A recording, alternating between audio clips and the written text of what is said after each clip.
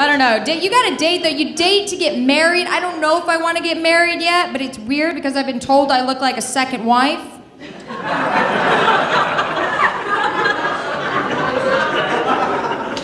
Which is kind of offensive in a way, because I'm like, are you telling me I have a face that looks like I don't want children, but I'll vaguely give a shit about yours? is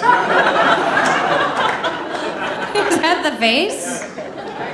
But I get it, I get it, okay? I kind of have like looking face. Like, I have the type of face that looks like I'm gonna bring my own food to your shitty barbecue. That's the face.